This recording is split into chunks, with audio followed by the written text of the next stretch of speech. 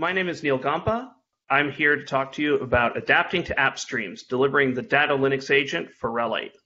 A little bit about me. I consider myself, you know, a professional technologist. I've been working with technology since I was a kid.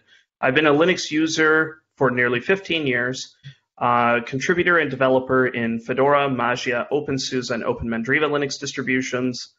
Uh, I'm a contributor to RPM, DNF, and various related projects like Koji, OBS, whatever uh, open build service, and we'll get to that in a bit. And I'm a DevOps engineer at Datto. Um, little bit about where I work. Uh, Datto is a company that was founded in 2007. Uh, we're a managed service provider oriented company, and so we've got 17,000 plus um, partners in the MSP area. Uh, we have 23 offices around the world. We operate exclusively within the uh, managed service provider channel, um, and we have 1,800 employees and growing. Um, we offer primarily business continuity and uh, other managed service provide uh, managed service provider oriented services. You know, especially with the networking or um, uh, services automation and machine management and things like that. Um, but our leading product is in um, what we call the unified continuity uh, product line, and that's what we're here to talk a little bit about. So the Datto Linux agent actually the Datto Linux backup agent. Um, it's part of our business continuity slash disaster recovery solution. Um, it was released in 2015 by Datto to add support for Linux systems to our portfolio of BCDR appliance products. It's composed of an open source kernel module that's DattoBD and a proprietary user space daemon, uh, DLAD, DLAD, as some people will call it, uh, it orchestrates the backup process and sends the backups to our BCDR appliance. Uh, we've made more than 300 releases over the past five years, um, and a little under a third of those have been releases to customers. Um, over the over that same time span, we have supported over 50 different Linux distribution releases across uh, a number of Linux distribution families through all versions of DLA. Um, you know, just to kind of give you some idea of the version ranges here of distros. Uh, RHEL 5 and up, Fedora 20 and up, OpenSUSE 13.1 and 13.2 and starting with Leap 42.1 and 15.0 and higher.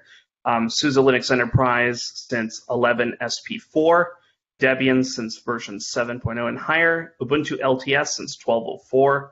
Um, under half of those are currently supported with the latest um, uh, Linux agent releases. Like we're at RHEL 6 and up, um, Fedora 29 and up, um, OpenSUSE Leap 15.0 and up, Leap 12 SP3 and up, uh, Debian 9 and up, and Ubuntu uh, 16.04 and up. Still Ubuntu LTS there. Um, so how we build the Datto Linux agent is, you know, it's a little bit unusual, but we use the Open Build service as the core component of our um, of our system for packaging and doing software delivery. Um, it's a software solution created by SUSE to build and manage the OpenSUSE and SUSE Linux Enterprise distributions. It's similar to Koji, the, um, the build system used to build Red Hat Enterprise Linux and Fedora. Um, however, uh, OBS can also build for a wide variety of Linux-based platforms. There's Red Hat Fedora and Debian and Ubuntu as well. Um, SUSE offers a hosted version as the OpenSUSE build service, and they offer on their main website an appliance image that's freely available to download so you can run it on your own systems. So why we use it, um, the source services uh, give us the ability to have some flexibility for the source inputs that go into our build processes it auto scales really easily.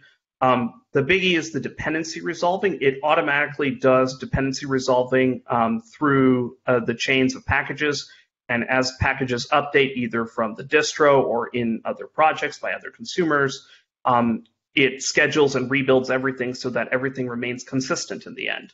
Um, it's easy to deploy and get started with, and it also lets us build packages using RPM spec files um, for Debian uh, based distributions as well. So we have a unified um, uh, build build and release pipeline for everything using a single uh, set of sources. So you'd think with all this, everything just kind of worked out of the box, but it, it's not quite so simple. Um, Unfortunately, application streams is actually fairly new to the ecosystem. It was introduced to, uh, to Red Hat Enterprise Linux with the RHEL 8 beta in November of 2018. Unfortunately, the incomplete state of the public beta made it difficult to do any, any development, so everything was kind of pushed back afterwards. Um, after the release, there wasn't really any guidance of how to build things with app streams or to build app streams themselves. So uh, there was no support for it because nobody really knew how to do anything with it yet.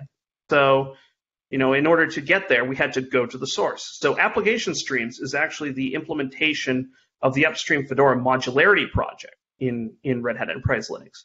So naturally, I, I went up to that project to go find out and get some more guidance. Um, from there, uh, we, I find out, you know, module builds in Fedora, both locally and remotely, depend on a service called the module build service, which processes a YAML files that they call modulemd to generate a build environment and build the packages and produce the, re, um, the modules. But in order to do this, it has to talk to a Koji server. So Koji, as I mentioned earlier, is the uh, a package build system, and it talks to a Koji server to figure out what's available and create a set of packages that should exist in the build environment. In Koji's terms, they call this a build root. This implies we should be running a Koji instance to build packages depending on modules. It also implies we have the ability to access the Koji instance, building the target distribution, be able to figure out what's available at any given time. Um, so that's kind of a problem. We have OBS and not Koji. So now what? Um, so there were three potential options that we explored. Um, one was mirror the distribution and demodularize the repositories. So what I mean by demodularize is that I take the app streams and evaluate them and um, decompose them into regular repositories that represent the combinations of streams with all the um, with all the content, so that they can be used by plain old systems that don't understand um, app streams today. Um, another one was deploy Koji and MBS and modify it to work with purely off of repositories. So as I mentioned earlier, the architecture currently expects that you can talk to the Koji endpoint of the distribution you're building for to understand what's available. Well, strictly speaking, nothing explicitly mandates that as long as you're okay with working with the content that's been published only. And so we would look at modifying that so that that would actually work properly. Um, finally, um, the last option is to, of course, enhance OBS to handle, handle app streams and other modular content. Um, so the mirroring distribution option, of course, is easy. It makes building packages with any tooling possible. It reduces the efforts to adapt tooling to support app streams. However, the major downside is that it takes a lot of space to do this. You know, there's hundreds of gigabytes over time if you're mirroring on every update push or things like that. The process has to be repeated every time the content is mirrored because because nothing else actually uh, works with the native content um, structure so it makes it slow and expensive, and the loss of the modular dependency semantics makes it possible to accidentally create invalid dependency chains at runtime. So what may work when you build it and when you test it against the demodularized tree may not work properly for the customers on their regular systems that aren't demodularized because the dependency semantics within modules or app streams would actually cause uh, major issues mainly blocking you from being able to install it. So the Koji model, the, the Koji option, sorry, uh, leverages the same build pipeline technologies that Red Hat and Fedora use, and it's well understood within the ecosystem for building packages, and it's easy to build our own application streams with it. However, it forces us to maintain duplicate infrastructure. We already maintain an open build service instance. Adding another Koji-based infrastructure would, you know, just essentially double the burden um, and it would also require synchronizing between Koji and OBS to have a complete store of the package content. And that's going to just add more space storage uh, requirements and make things a lot more complicated. And then uh, the final bit that's a little bit maybe less obvious, but there's unequal capabilities between the two systems, and that may cause more trouble than it's worth. One of the key differences between Koji and OBS, Koji emphasizes binary environment reproducibility. So like all the packages that are ever built are kept in the store, and that lets you be able to rebuild any package with the exact same environment was built with the first time, but also um, MBS takes advantage of this to be able to do things like cherry pick various packages, construct a build root with whatever you wanted in it. And OBS doesn't have this this view of the world. It can it cares primarily about build consistency.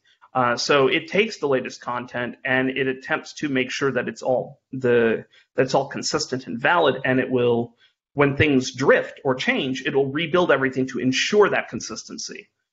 So the end result is that we have the latest available content all linked together. So you know you minimize the potential problems uh, rising from those things. But again, you don't get that flexibility that you have on the Koji side for being able to cherry pick packages any which way you'd like from any build that you've ever done. So that of course leads to the third, uh, that leads us into our third option, which is enhance OBS to support application streams. That leverages our existing tooling and pipelines. It doesn't require us to support duplicate infrastructure. Um, but producing app streams would not be straightforward to implement and build and the build system resolver needs to be taught concepts regarding application streams. It's important to note that the Open Build service has a built-in dependency resolver that processes build chains and cycles to rebuild packages as dependencies change. This actually has to be adapted to understand app streams and how uh, app stream dependencies work. That is a non-trivial amount of effort, and that may that is um, a whole nother ballgame in terms of like how do you make sure everything is going to work properly. So what did we do? Initially, we pursued the demodularization strategy using a tool called Grobisplitter from the Fedora Modularity Project as running a second build system for just one Linux distribution was not appealing. Um, I did meet with the OBS team at the OpenSUSE conference, along with members of the DNF Yum teams, to hash out a strategy for supporting them in OBS. The project implemented some of this over the course of the last year, which led us to refocus to porting that to a stable OBS release for us to use in production. Which you know I did that, and that landed um, in late February and uh, we updated our systems to uh, use that code. Um, after we upgraded to OBS 2.10.1, which was the release that included our work, uh, we just needed to add a snippet to our project configuration to enable the virt module with the rhel stream. This is shown on the right. Um, as you can see here, the snippet shows, you know, if repository is CentOS 8. Um, OBS represents targets um, as repositories because it, it, it uses publish oriented semantics for mapping all of the things that you can build for. Uh, and for adding libiSCSI for the for the package, uh, we use the expand flags module virt rhel to describe that we want the virt module with the rhel stream be expanded and included in the build environment. This enabled the application stream in our build environment and allowed everything to work, uh, mostly. There was one last problem. As it turned out, there was uh, a missing development header package. Specifically, uh, DLAD uses libudisks2, and we needed libudisks2-devel to link to it. This was actually quite easy to rectify. We filed a case with Red Hat in January and had it added to the CodeReady Builder repository. Um, it was going to come in with RHEL 8.3, but in order to get things out the door now, we needed it faster. And so this is where um, a little bit of uh, elbow grease and some uh, and a little work in the community uh, made this possible. So we were able to work with the CentOS project and get and use CentOS Stream to be able to get this content sooner so that we could roll it out to our build system and start building and testing to roll out our um, our agent for Red Hat Enterprise Linux 8 uh, now. And as part of that, we're in, we're testing this, and we, I expect it to be rolled out, you know, by the time you're hearing this. And you know, we did it. Now we have a build of DLAD for uh, CentOS 8 from and RHEL 8 for our, from our build system. Woohoo! So you know that was was a bit quite a bit of an ordeal, but it you know it went very well. I want to give some special thanks to uh, Stephen Gallagher from the Fedora modularity team Daniel Mach, Jaroslav uh, Marasek, I'm sorry if I butchered your name, from the DNF team, Adrian uh, Schroeder and Michael Schroeder from the Open Build Service team. These guys helped me throughout the whole of last year trying to figure out everything I needed to make all of this possible. And it's great to be able to work with the community in such a uh, in such uh, an open manner to be able to accomplish, you know, something that would most people would consider Herculean. Um, so here's some resources here. Uh, Grobisplitter. Um, if you want to go down the Koji route, um, there's a there's a tool now from the Fedora project called Module Building in a Box, which lets you set up a Koji and a module build service um, quite easily and and get started with that. And then some more information about modularity, the Koji build system, and the Open Build service. And if you have any questions, feel free to reach out to me. My email address um, is on, on screen. Thank you.